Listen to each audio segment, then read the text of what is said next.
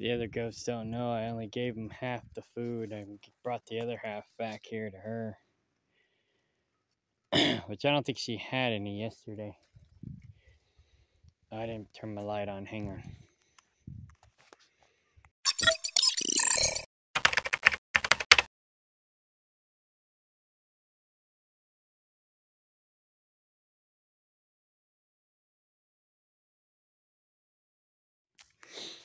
Alright, we're going inside to see the babies.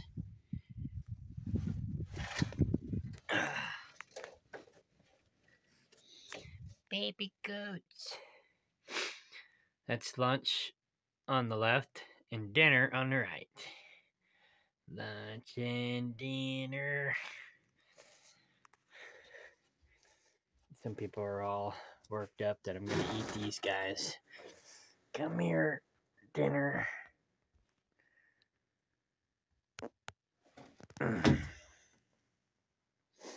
but I might not. Somebody wants to buy them for pets or for breeding stock. they can.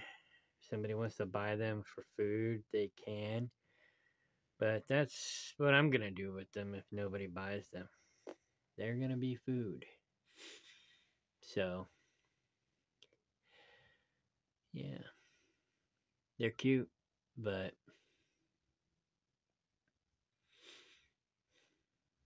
that's the way the cookie crumbles.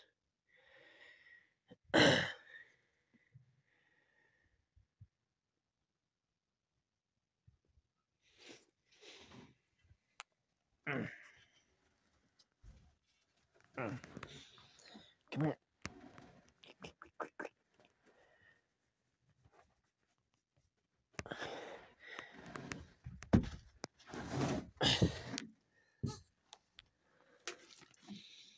Come here, it's okay.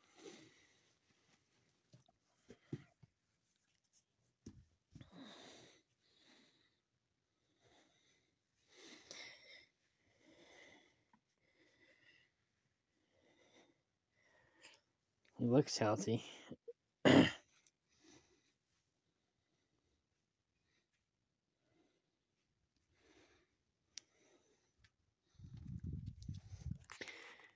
one there looks healthier.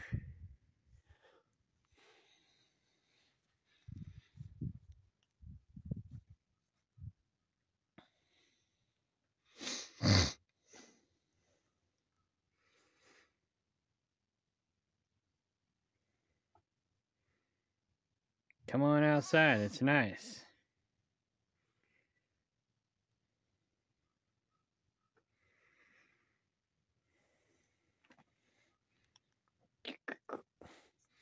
Your tail looks like Bucky's. like, leave my tail alone.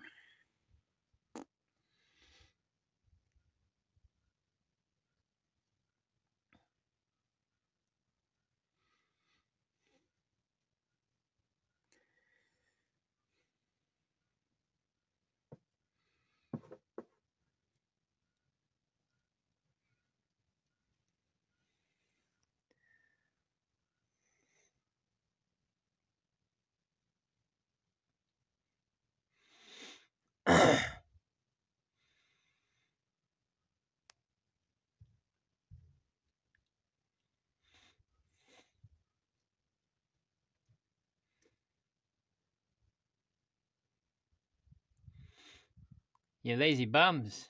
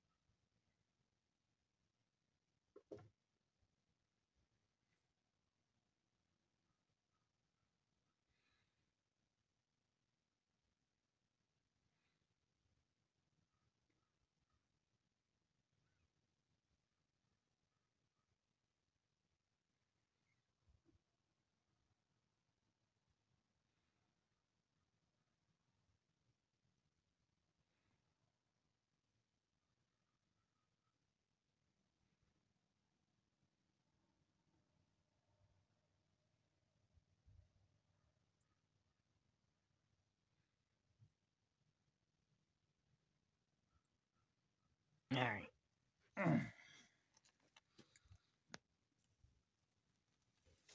Mm.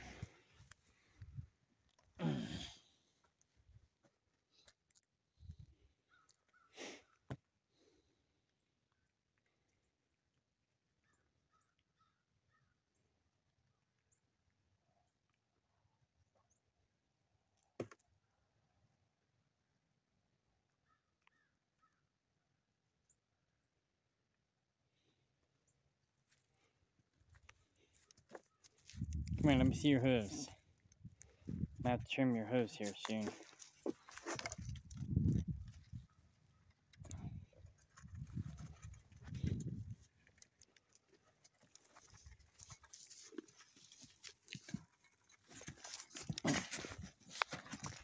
Hold still, hold still, hold still.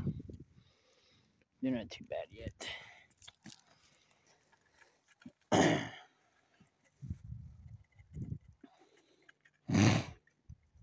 Yeah, I got a calendar I use to keep track of when I trim their hooves and when I test them for worms and all that stuff.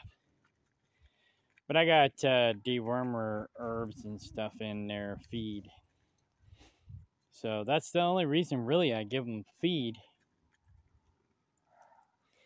uh, is because it's got extra nutrients, uh, herbs, minerals, and vitamins that they may or may not get here on the land. So I put anti-parasite herbs in the feed. I put uh, minerals and vitamins in the feed. And then the feed itself has certain nutrients that they need as well. so um, I don't give them just corn like David Ray used to. I give them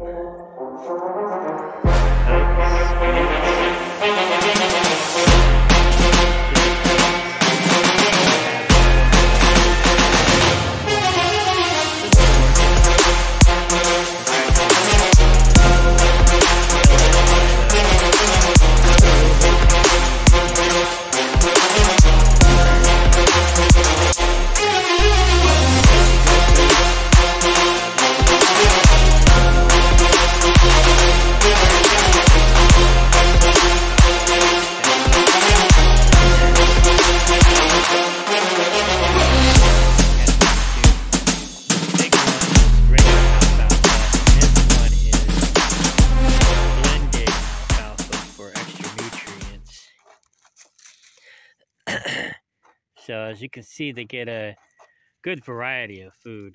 And then the powder is from the herbs and stuff. Herbs and minerals and that I fortify their food with.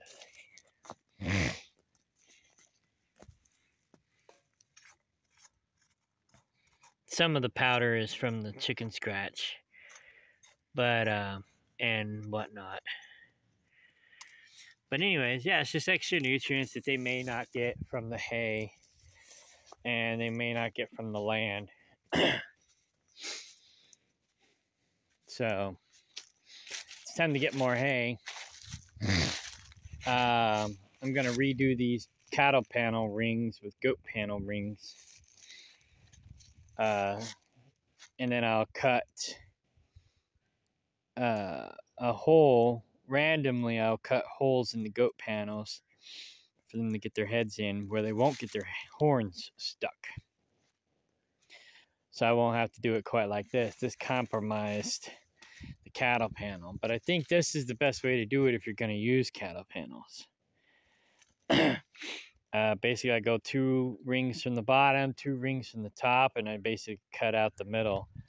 I'll just go cut out this you know, whatever.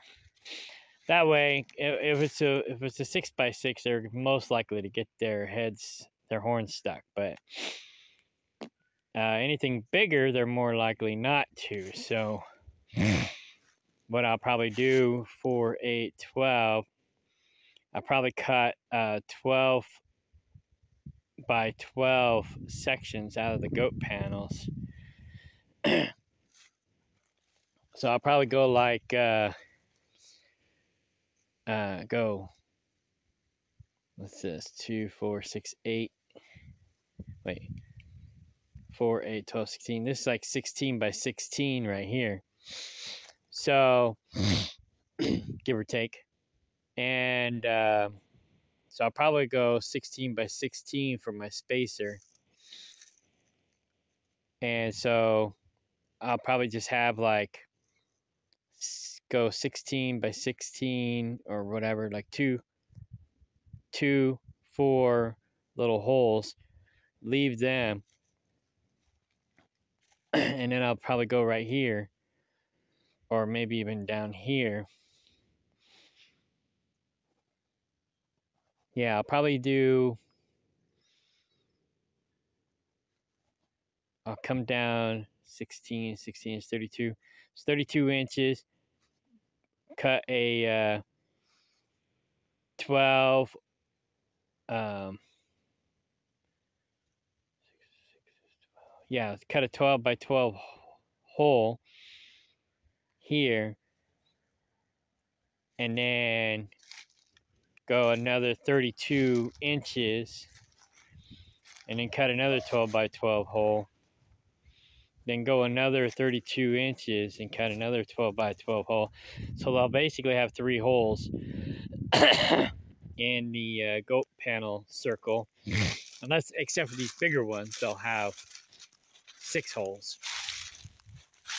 Like they stick their heads in and eat. And then uh, the babies could get in and out but the adults can't get in there and poop all over the uh, food. Because, yeah, you give a goat an opportunity, they'll jump on top of and pee and poop all over the food. It's like, why are you running your food? Yeah, they're kind of dumb in that respect. So, yeah. Oh, yeah, I came and did this in the night when it was cold, so I didn't pick up my mess. so, still need to do that take this, put it in my scrap metal pile.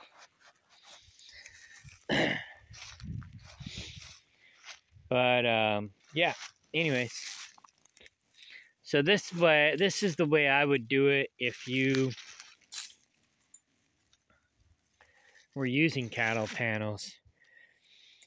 and if you were using goat panels, like I said, I'd go 32 inches or yeah, 32 inches down and 32 inches in, cut your hole, and then basically make them another 32 inches apart from one another.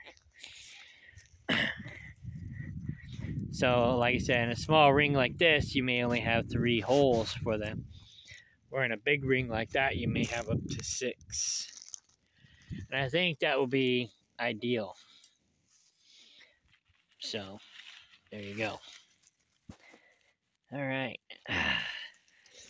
oh, here's a couple more.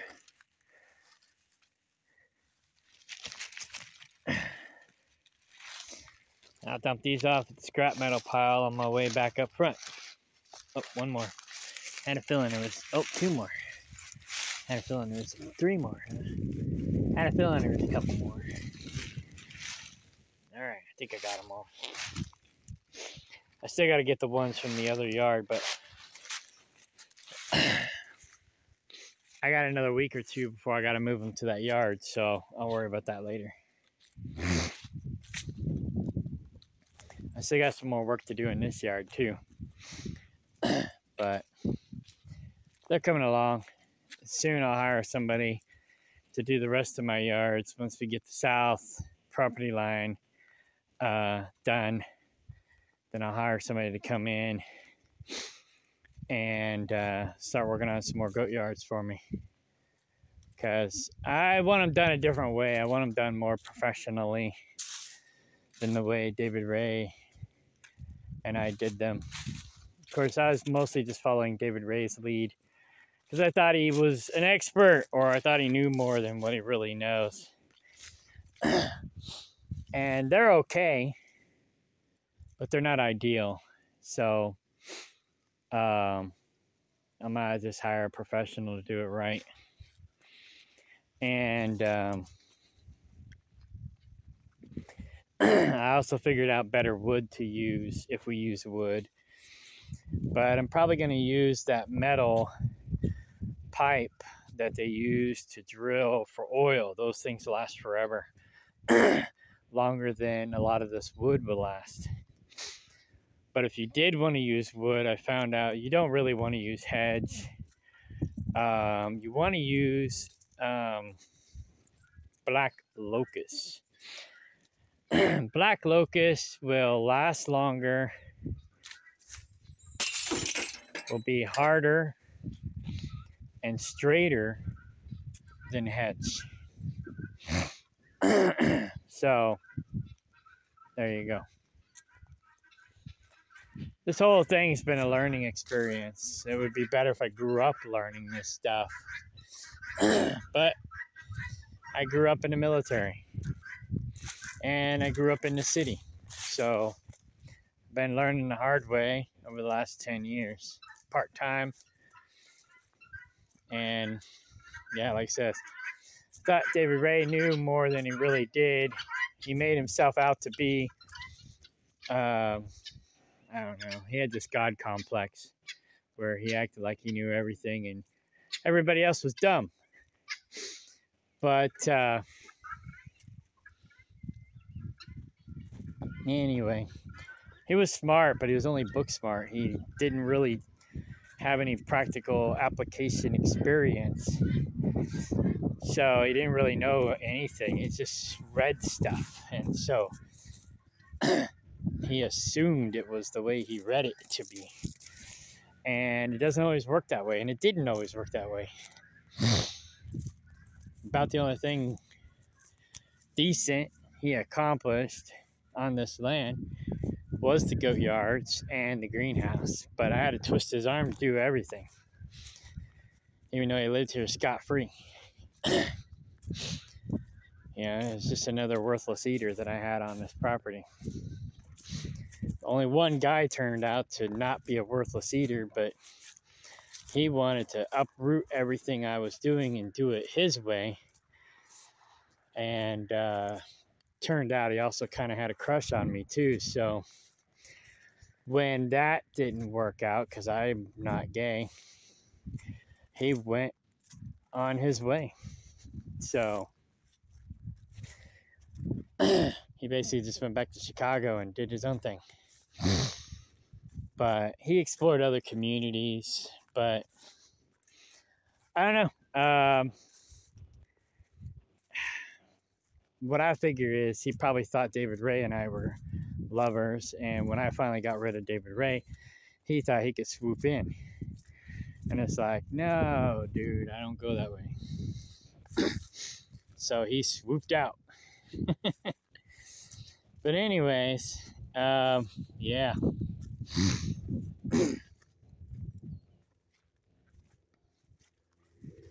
crazy, crazy.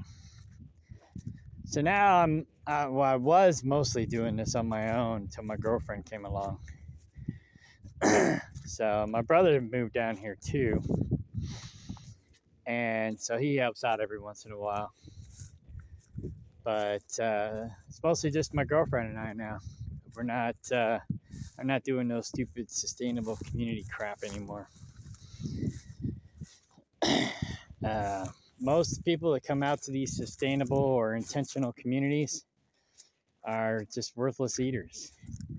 95% of these sustainable communities fail, or intentional communities fail. And now I know why. So, uh, either the person at the helm is a scam artist, which the first community I joined when I first came down here, that was the case or and then I regrouped and did it on my own. And then I had the other problem, basically just worthless eaters. Nobody wanted to do anything. So that or the other problem is is people just don't get along. And I had that problem too. Uh, different members of the community didn't want to get along or couldn't get along or whatever. but mostly they just didn't want to do any work and they wanted everything to be done their way and it's like hey i'm the captain of the ship you know um, it's like one girl. Uh, she was helping with the chicken coop, and she did a pretty good job. Um, sorta. They wanted to do it their way, and I was like, I don't care how it's done as long as it gets done.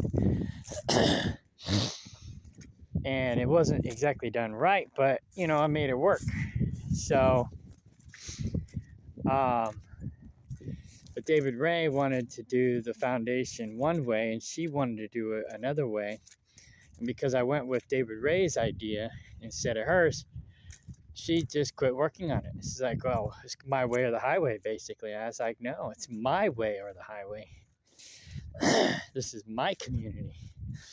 I'm the leader, I'm the boss. But everybody else wanted to be the boss instead. It's like somebody's going to have to be in charge. And basically, what I did was I would take in everybody's information, analyze it, and make a decision. What bosses are supposed to do, right?